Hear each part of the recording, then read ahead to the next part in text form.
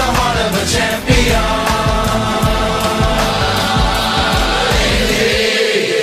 This Beyond Linsanity interview is brought to you by Sugar Land Town Square. Shopping, dining, and fun for the whole family. Enjoy live events, plus watch your favorite team at one of our many restaurants and bars. Located 59 South at Highway 6. Visit SugarlandTownSquare.com.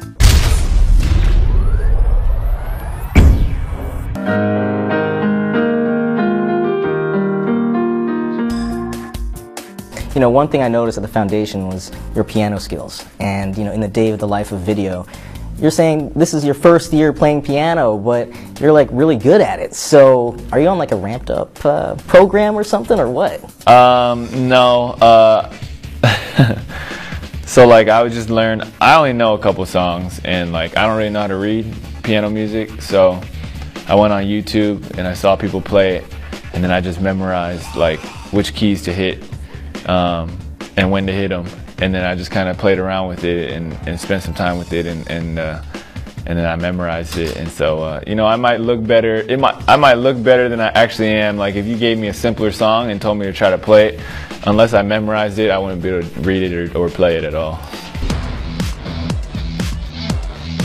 How about your Chinese? How well can you speak it right now? How much are you working to improve it? Um, yeah, I mean, I have uh, some Chinese conversations during the season. I don't have as many, but um, I've been trying to keep in touch with some of my friends from overseas and and just you know just speak regularly. Um, what just like through uh, you know text message, but an audio message.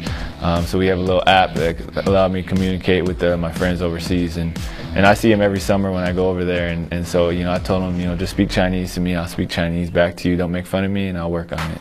So the Rockets' upcoming trip to the Philippines and Taiwan, how much does that serve as motivation for you to, yo, I need to improve that Chinese for that trip? No, I mean, we, I go back every summer, so I already have enough motivation. I got to get a lot better at it. Oh, you go back a lot then. But how about like childhood memories of like Taiwan? Like whenever you go back to Taiwan, what do you have to do when you go there? I got to get that food. I eat that food. Um, and I need to go to the night market. And uh, last year things were a little too crazy, so I didn't get a chance to go. Um, it was a busy time out there, but this year I got to find a way to get to the night market. That's my favorite favorite thing. Any specific dishes in Taiwan that kind of are your favorite?